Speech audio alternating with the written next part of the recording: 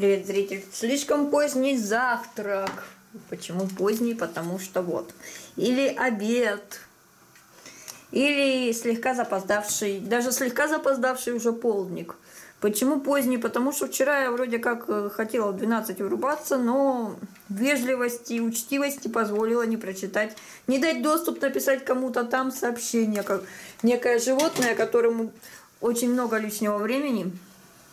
Сначала зарегилась в Инстаграм, дабы написать мне сначала вроде как вежливое сообщение. Вот прикиньте, вам кто-то пишет «Здравствуйте», да?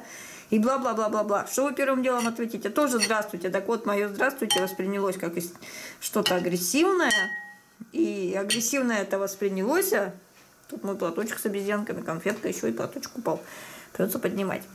И чайник у меня греется. Это мой грибной суп имени меня. А здесь у меня кусочек колбаски, который жирный два кусочка колбаски, которые мне понравились, два кусочка сыра, которые мне не очень понравились, но я решила, что может быть оно в лавашике в микроволновке будет вкусно. Он пока еще не пробовала. Короче говоря, существо сначала писало мне в Инстаграм, потом стало мне подсирать уже на ты. Сначала на вы, потом на ты. На ты параллельно писать на ютубчике, ну я потом делитнула, потому что думаю, зная таких, они начинают там куча прибегать, присирать, и лучше таких веничков бы метать сразу.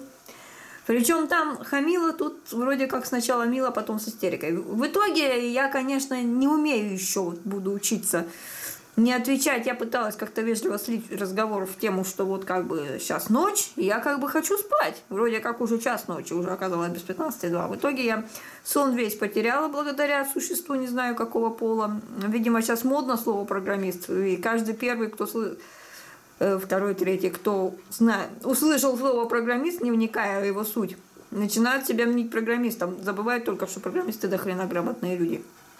Иначе это не программисты. Э, даже если не говнокоды. Быдлокодеры, они все равно до хрена грамотные люди. В общем, короче говоря, я в итоге была без сна где-то до почти пяти утра и проснулась в итоге уже только где-то около двух.